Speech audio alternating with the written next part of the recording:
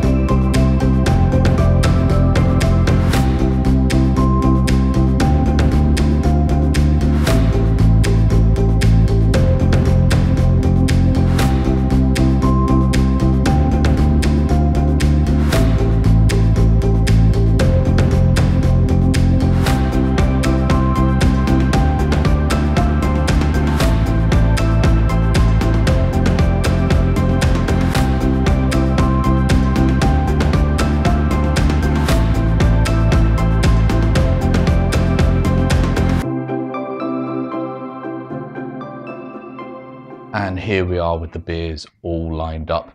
As usual, um, my missus has poured these and blinded them from me, so I don't know which is which. I'm going to blind taste test them, obviously, um, rank them. So I've got my ranking cards over here. And I'm going to also take a guess, a stab in the dark, we should say, as to what beer it may be. Uh, general uh, ratio is I don't get many right. I'm lucky if I get two. Um, but I always find it's a bit difficult when you're doing the tasting, especially this many back to back. I do have water just to the side as well to cleanse palate. But yeah, it's always much harder than you think it would be. Right, let's get started with A. am just having a quick look through. There are some lighter colour ones, some darker colour ones, but English pale ales vary in colour. Um, I'm calling it English pale ale. I know I originally said British, but I think they're all from England, these. Right, beer number one. Let's have a go.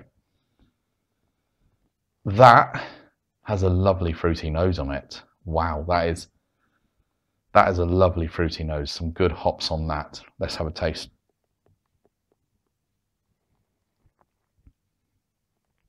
Oh, I really like that one. That is really good. What a beer to start with. Wow what is that fruity and that smooth? Right, I, I I'm going to give this one a three, but I feel I may change my rating obviously as I go through. But that is very high for me, and I'm going to go for the moment and guess that A, maybe tribute. Um, it's smooth, it's zesty, fruity, that's good. Um, it could be one of the other ones as well. Um, I may change my mind as I go through, as I said. All right, on to B. All right, this one's malty. So this is malty in the nose. Let's go for a taste.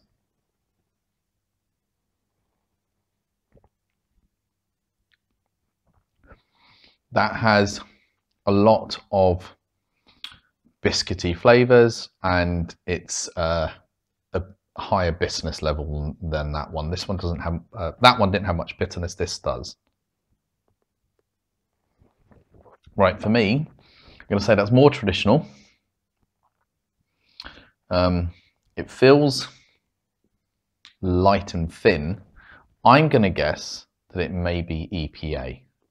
That's what I'm going with just because of its flavour and lightness. Um, overall, nothing offensive about it, um, but nothing major about it either. So I'm going to give it a six.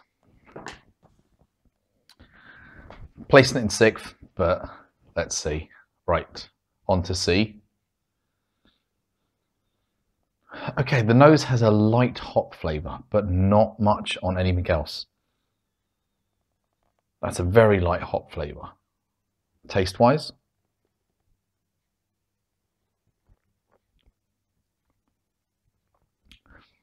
it has a nice floral flavour to it. Uh, that's very nice from the hop, and a bit of hop bitterness. I'm already feeling that this is going to move down much lower. That is really nice. Um, oh, I'm going to give this a four. So number four for it, but I I think I really want to put St. Austell's there now. Um, I'm going to go with Hopping Hare from Badger, but I think I may switch these two around on my guesses. Right, on to D. So D. Again, this is more on the malt, so this is a bit like B. It's more on the malt nose, on the flavour.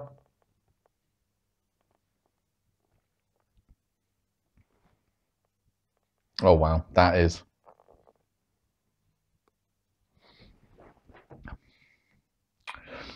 I wonder if I'm not doing it justice. I'm gonna cleanse my palate quickly.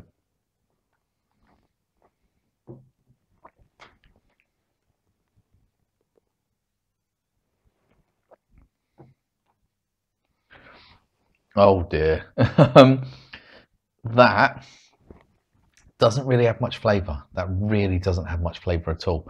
It's just very plain. For that reason, I'm guessing it's that. Um, and I'm putting it in number nine for the moment. Number nine. And I'm trying to think what B could be.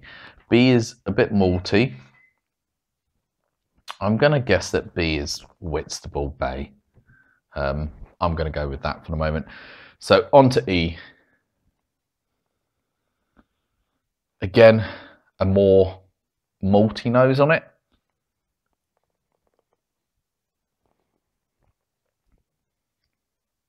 There is a nice hotness to it that brings through a bit of fruit. I like that. I'm going to take the six away from B and put it onto E. And I'm going to give a seven. Actually, change my mind. So I'm going to give B a seven and I'm going to give E a five. So five for E. I'm still got my highs and lows here at this stage and a medium. So we're halfway through there have been, I would say, none of them have been offensive so far. Um, just that, yeah, they're not. I just realised I didn't guess what that one was. I'm guessing Ghost Ship. I'm guessing is Ghost Ship. Nothing's been offensive so far. Um, just flavour wise, um, I think that D is lacking in flavour really. Right, on to F. This is very malty. Yeah, a lot of malt. But ooh, also a bit of a skunk smell. Mmm. I'm taking that and putting that there. And I mean, is no flavour better than a skunk flavour? Yeah, that is. Right, you're getting number nine, and number eight now is going towards uh, E here. I've, glass beers tend to get skunked, and um, I've just got too much of a history with Shepherd Neame and their glass bottles always being sort of skunked. Um, tends to happen more to theirs than others. It's malty, but it's skunked. I might even put that as 10 in a moment. right, G time. Will G hit the spot? Let's see.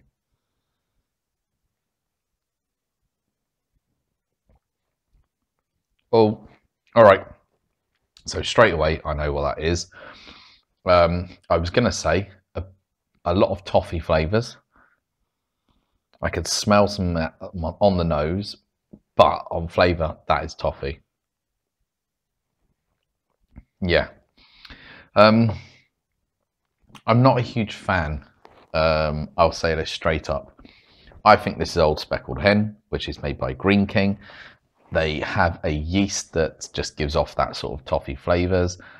I'm not always a huge fan of that. Um, I mean, there's nothing that offensive by it, but yeah, all their beers have that sort of toffee flavour to it. Um, for me, it's better than um, the Skunky, but I don't think it's better than this, which is clean and easy as a pale ale, whereas this is a bit thicker and harder to get through.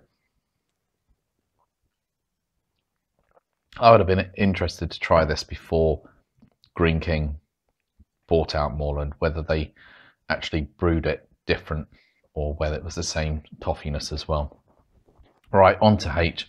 I'm fairly certain I got that one right. That's why I'm, I'm talking that way, but I'll probably be proven wrong at the end. Right, on to H.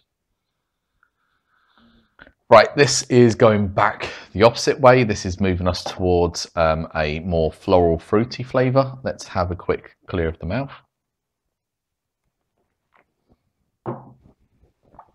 Cleansing time. I've changed B so many times now, I'm going to wait uh, uh, till the end, um, otherwise I'll just keep dragging off there. Zesty, very nice.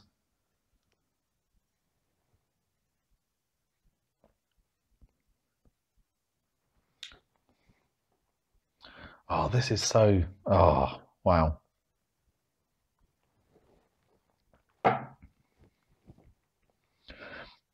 I now think, oh, I now think this is tribute. Oh dear, what am I doing? Um, what have I got? I am gonna guess Bass is B. I'm gonna guess that Atlantic. Is it smooth enough to be Atlantic? I'm going to guess Atlantic because um, that is a slightly fruity one, I would say. I like it, but I do think six is about right for its position at the moment, so I'll put it in sixth place. Um, we're on to the final two, so penultimate, I. Again, this is going down the fruit line.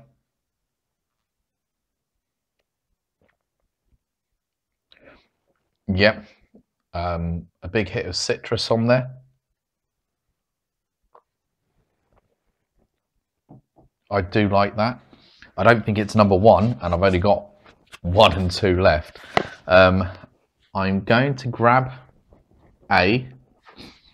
I'm going to put A as one for the time being, and then I'm going to put uh, D as two, and that gives me three to give this one and then we're on to J. What could that be?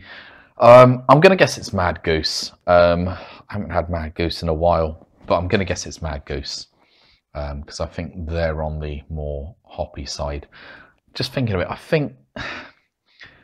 See, this is a bit easier than doing lagers, mainly because um, some are more malty, some are more fruity. So there's a sort of side of where it can fall, and then there's just toffee for Greene King over here.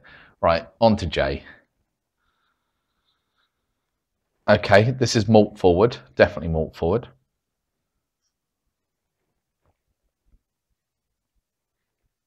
Okay, there's a, I'm going to cleanse my palate again quickly. There's a slight fruitiness, I think, to it, but I just want to make sure it's not the uh, one before I'm still tasting there.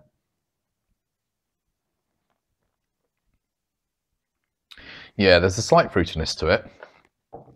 It's nice. I'm going to put in four. And I'm going to guess it's the last remaining one, Landlord. Um, but that may change. What I'm going to do is I'm going to cut, rearrange these, and then we'll taste them back down line again, move them around. See you in a second. And here we are, all lined up in the order that I've originally just put them as 10 to 1. I'm going to work away from 10 to 1. So number 10, I've said it's Whitstable Bay. Glass bottle, skunky. There is a, I said, a, a sort of maltiness to it. But as soon as you taste it, the malt is there, but the skunk sort of comes in. Um, skunks means sunlight has struck through the bottle. All of these ones here, as you can see, are dark bottles, which stop the sunlight and hops inside. That is, um, yeah, not nice. Uh, in the pub, probably better. Right, number nine, I've said is Old Speckled Hen.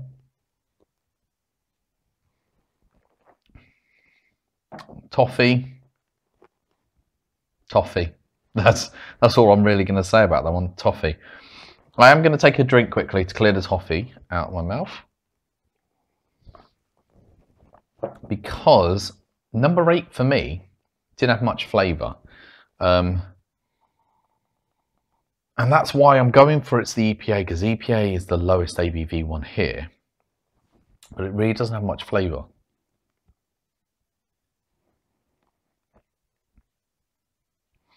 There's a slight malt maltiness to it.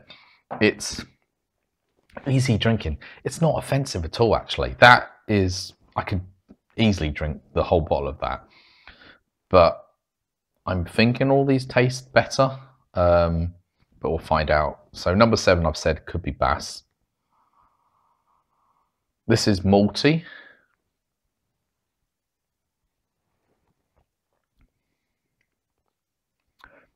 I don't think that's Bass. So B was the one, this is B, isn't it? Yeah, B was the one I was struggling with. Do you know what?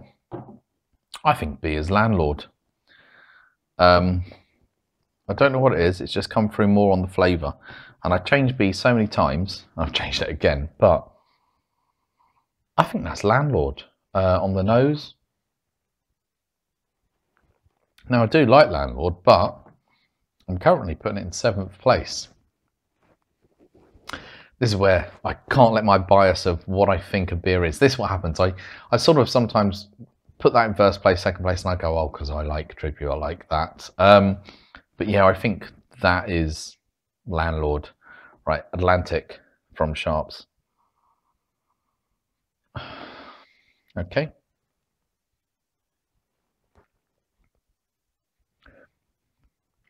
It's zesty. It's fruity, but is it better than this?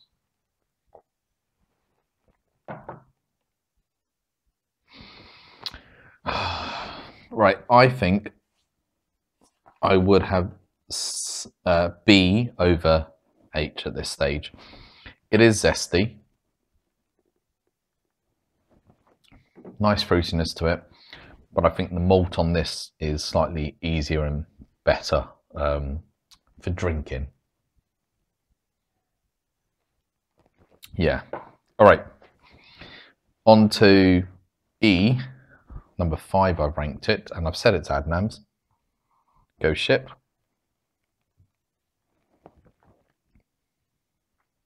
That's quite smooth. Uh, there's a fruitiness to it. I think it's better than six, uh, which I've said B landlord. So now to four. I will take a quick mouth cleanser again.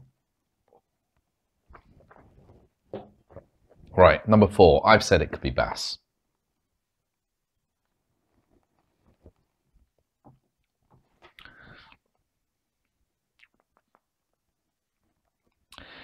Is four better than five?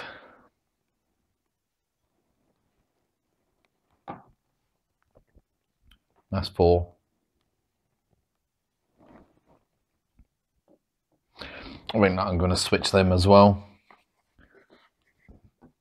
I think um, this is coming up to fourth place. Right, we're on to the final three. I've said um, that I is potentially Mad Goose. I haven't had Mad Goose in ages.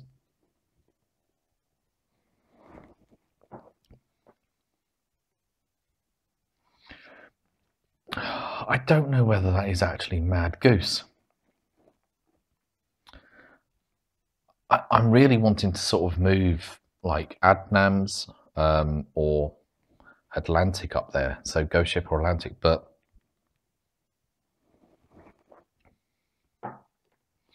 part of me says I think that's Ghost Ship, um, but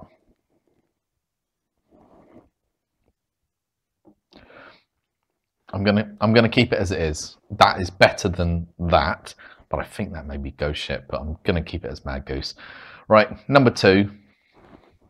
which was C, I've said could be badger, hopping hare.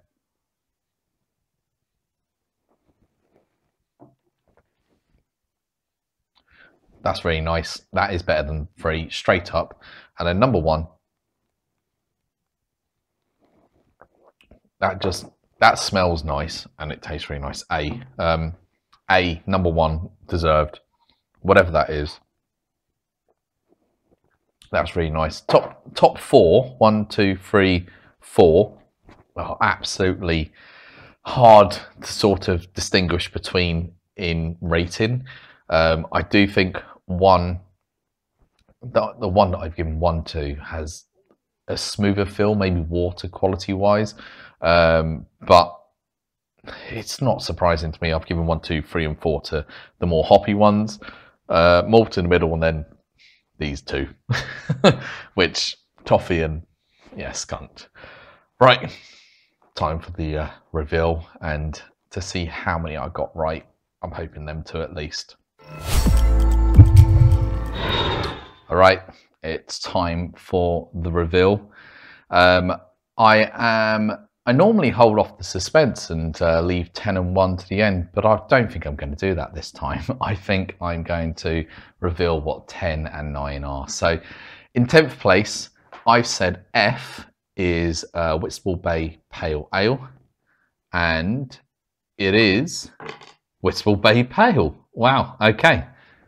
One out of one. That does happen quite often. I get one out of one, and then it turns out one out of 10 at the end.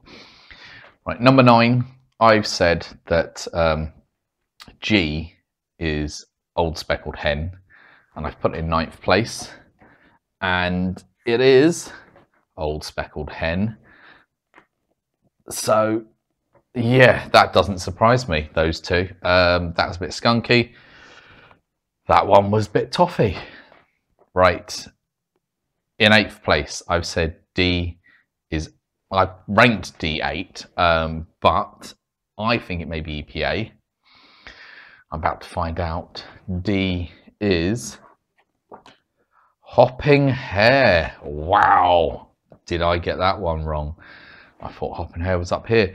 Um, actually quite like hopping hare, I thought. Uh, but um, yeah, not much to it. Quite, yeah, bland. Um, all right, seven.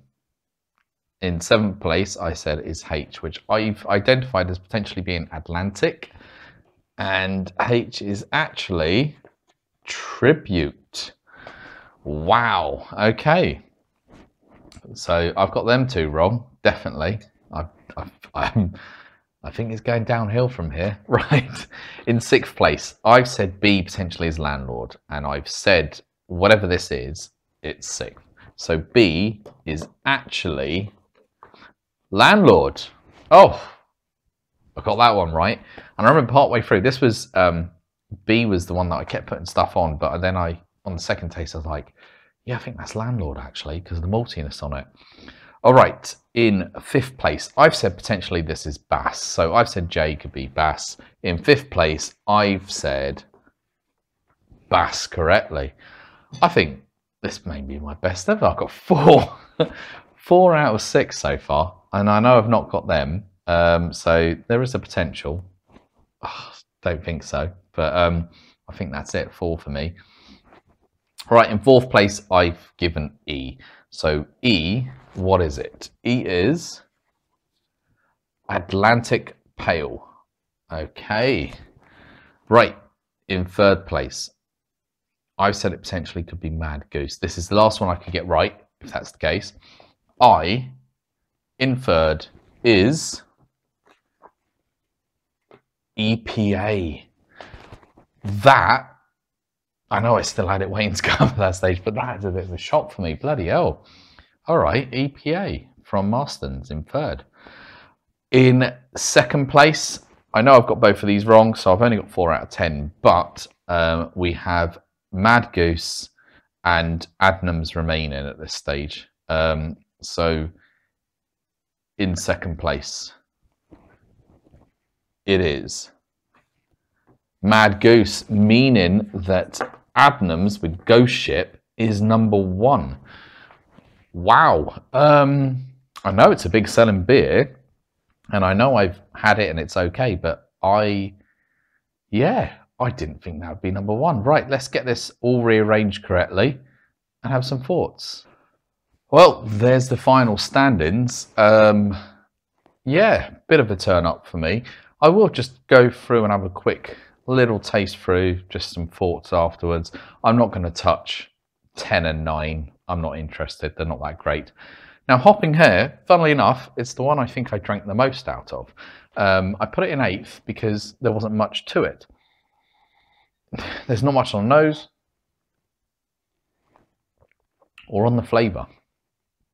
Inoffensive, I think, uh, would be the term to use. But yeah, that's not so great. Tribute, number seven. Wow. I I thought it was uh, more hoppy, actually, tribute, but this is more bitterness. There's malt, there's bitterness. I'm misremembering what tribute is, although I'm not sure what the difference is between the bottle and the cask version. Landlord, I guess right as number six. I do like Landlord, very decent beer. Um, it's malty. Yeah, that's Landlord. There's a slight hop level on that actually, on the back end. But yeah, I like Landlord, but I've put it as sixth place. Bass, now, that's an interesting one. I've had it a few times, but I just never really remember it. It's a non-memorable beer for me at this stage. Um, I know it's the oldest beer on here, but officially, I think it was only relaunched in bottle in like four years ago or something.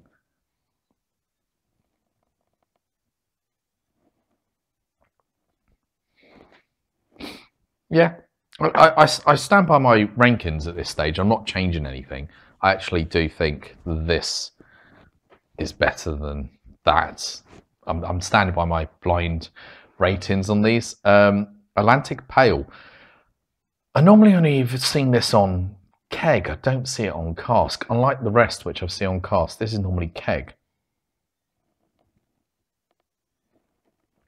And I just wonder whether the bottle version is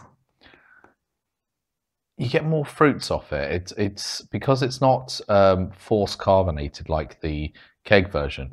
It's just softer and more rounded. I have to find that in cask. That is really nice. Number three, EPA, the shocker for me, the big shocker, shocker for me, EPA, because this is, I think, probably the cheapest one on here. Um, when you go to a supermarket, um, you will tend to find you've got your four for free offers or whatever it may be now. Um, I think they've all moved four for free, but um, EPA is not included in that because EPA is normally about a pound, a pound ten. So it's not included because it's actually cheaper than if you took the offer. And um, I've got no bad blood for Marston's. I do like quite a few of the Marston's beers that they've got. I just don't remember it being that good. So EPA. I mean, it's light, hoppy. I should have realised probably mouthfeel was a bit lighter, but at 3.6%, it's the lowest ABV one here, cheapest price. That is a proper like weekday session beer if you want it. That that's the shop for me. Right, Purity's Mad Goose. Um, not had it in a while, but I see it on cask quite a bit.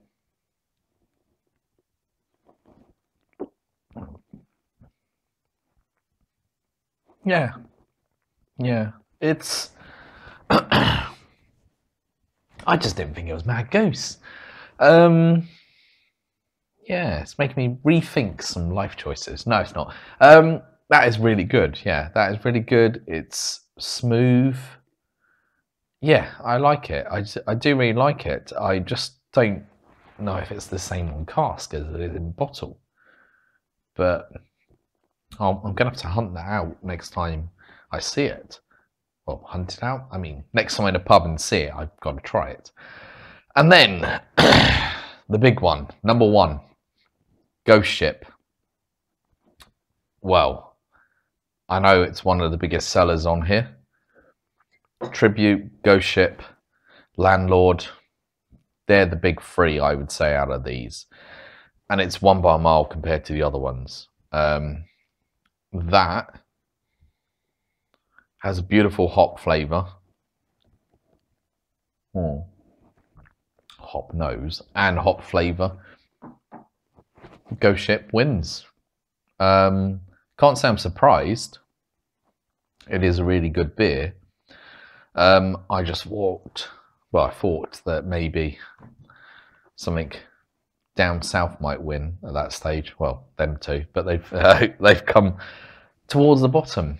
Um, I feel like I'm rambling now, uh, but I think four out of ten is probably equaling, if not my best result ever. So I think maybe taking eight months off doing this has worked in my favour. Um, you know, mastering that palate, getting it all ready for this one test. Yeah, I guess I'll see you in eight months again. Take care.